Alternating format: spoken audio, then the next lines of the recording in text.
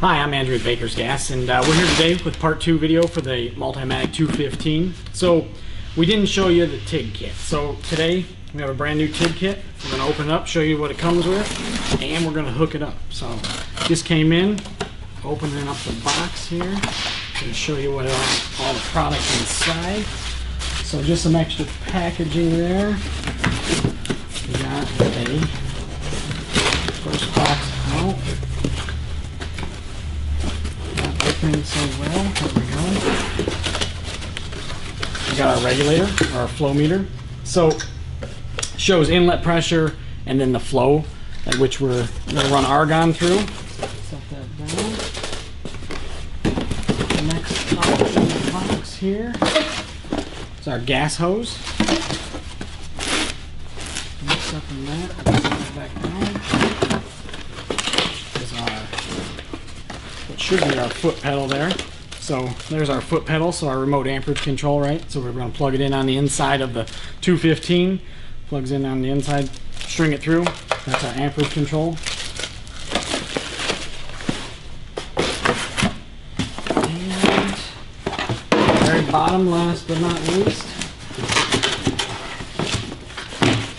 bottom here, we have a Miller air-cooled TIG torch with consumables kit and the consumables chart. So reordering is uh, made simple. It just has everything laid out on there, all the parts and everything. Pretty nice little kit. Um, we're going to show here in just a second hooking this thing up and getting ready for welding. All right, so now that we got everything unboxed here, we got our foot pedal. I'll show you guys how to hook this all up. So run this cord just as a reference, run it through the bottom there, and as it comes out, you're gonna run it around and it plugs in right there. So that is your remote foot control. So now we got that hooked up. Now notice I left the MIG gun hooked up. We can leave the MIG gun hooked up. Put this over here. So what I'm gonna do is I'm gonna take this out. It says cable error. We know that.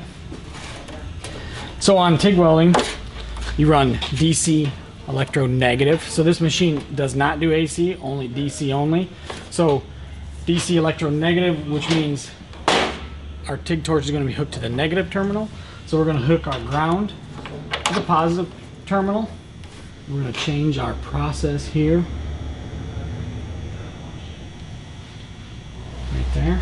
It's telling us what use 100% argon. We did that. It says on the photo to the negative terminal.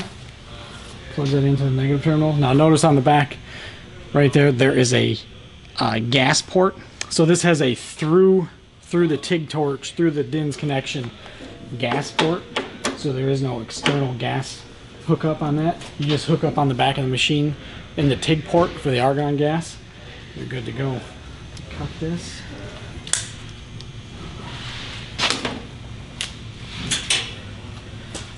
Got the TIG torch undone here. So this all comes pre-set up basically for you. It just has the consumables in it. It also comes with this nice kit that has extra consumables, extra tungsten, collet, collet body and nozzles, and a back cap. So this is your back cap. Gonna unscrew that.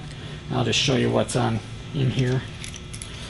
So we got our tungsten here, our collet here. Looks like we're running a 332nd tungsten. We're gonna take the nozzle off. And then there's our collet body. So our nozzle screws onto the collet body. How this all works, it goes through there. When you tighten the back cap, it pushes on the collet, tightening the tungsten into the collet body, making it so it doesn't move. So our tungsten's got a good stick out on there. We're gonna have to sharpen that. But we're basically ready to TIG weld. So going back to the 215 home screen here, we got a 332nd tungsten. That's what it's asking us. We got a remote plugged in. It's telling us yes. It says 18 gauge. We can increase that because we're gonna weld on some, maybe some.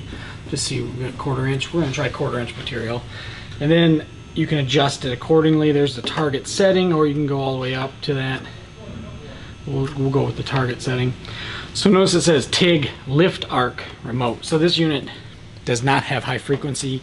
High frequency is a, an assist to jump the arc across from the tungsten to the base metal to help initiate the arc. This does not have it, so we're gonna have to touch the tungsten, pull off. It's called lift arc. I'll show that here. Um, let me sharpen the tungsten. We're all set up. Got my tungsten sharpened. We got 332nd tungsten, quarter inch material. Target setting is 175 amps. Let's give this thing a shot. Now remember with lift arc,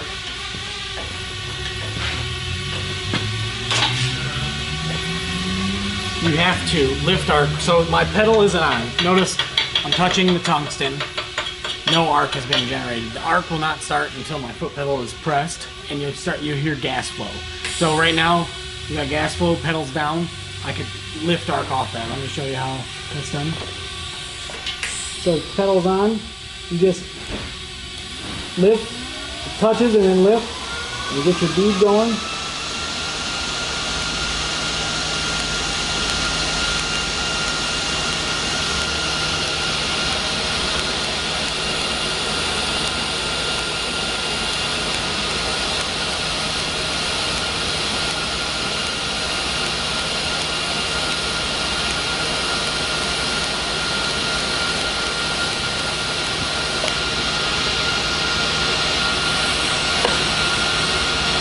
So, as you can see there, it turned out pretty decent.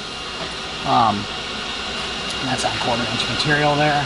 So not too bad, but just like with that lift arc, and sometimes if you're not familiar with it, you're used to high freak, you just touch and it'll feel like it's stuck. Don't rip, don't pull, just just gently lift up. And if it gives you a little bit of resistance, kind of, you know, you gotta you gotta pull up just a little bit harder, and then that'll initiate the arc is while the foot pedal is depressed. Just remember you got to keep it down. So there you go. There's the setup on that, on the TIG kit for that Multimatic 215. Um, thanks for watching the video. Stay tuned for more. Uh, we're gonna have another video on this 215, some additional stuff. Leave your comments below, and I'll be be sure to answer you guys' questions. Thanks again for watching.